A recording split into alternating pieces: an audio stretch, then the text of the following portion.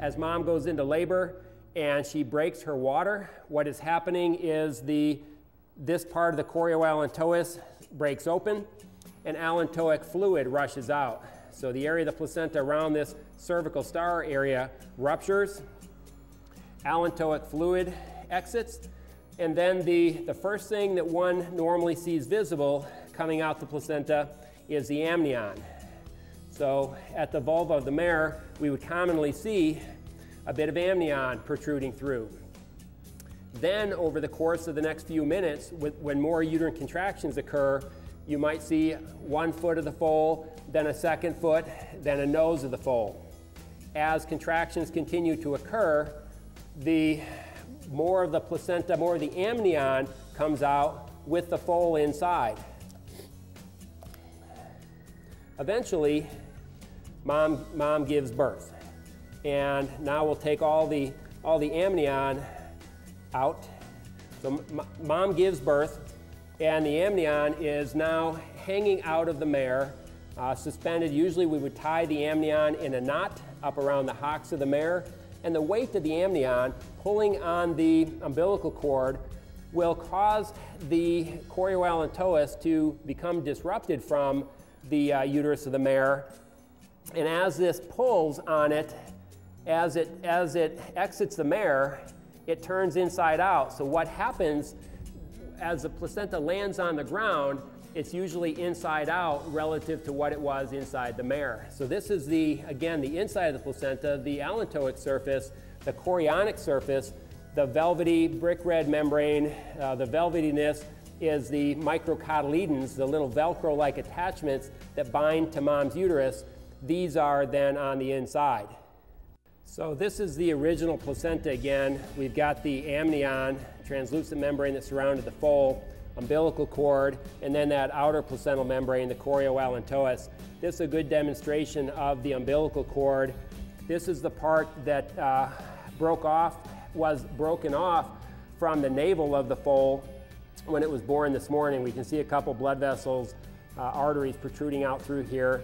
This umbilical cord is composed of, of four vessels, two arteries, a vein, and the urachus. And the, the arteries and veins transport blood back and forth from the placenta to the foal for oxygenation and, and nutritional support.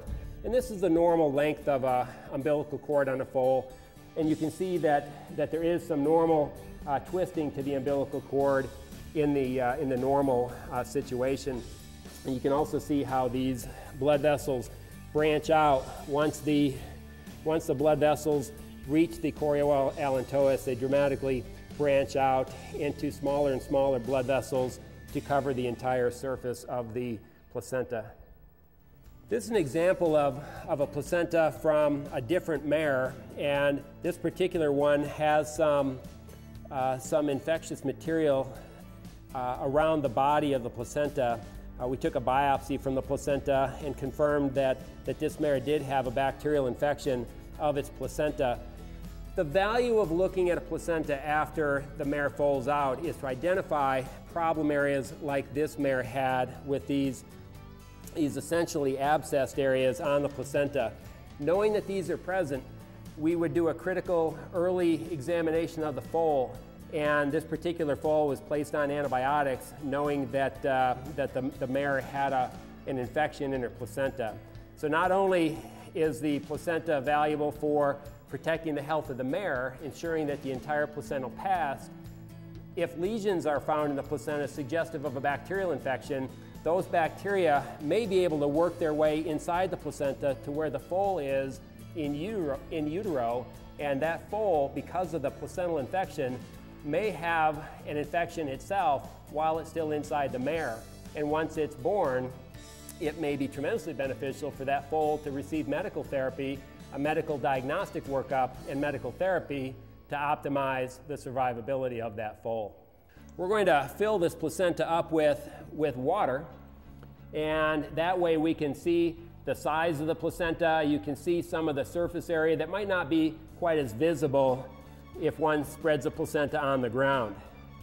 This is, a, again, a normal placenta from a mare that foaled out last night. The normal placental exam really doesn't need to include this, but the normal placental exam, it may only take two to three minutes to do an evaluation of placenta. It's my opinion that every placenta should be evaluated after every foaling to make sure that the, that the placenta is intact, there's no piece missing, and that there's no lesions on the placenta. The examiner should wear disposable gloves, and at the conclusion of the exam, the placenta should be discarded appropriately. Now this mare, uh, we've got the placenta filled with water. We're going to take the, uh, take the hose out, and now we're going to describe what happens when a mare when a mare gives birth, she's going to rupture her chorioallantois. She's going to break her water, only this time real water is going to exit. The amnion has started to, to exit. The chorioallantois is ruptured at the area of the cervical star. Again, in the normal foaling, that would be allantoic fluid that would be exiting to the outside of the mare.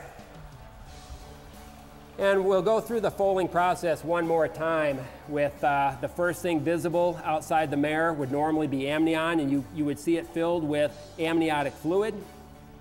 And as this mare gave birth, the amnion would, would pass out of the mare.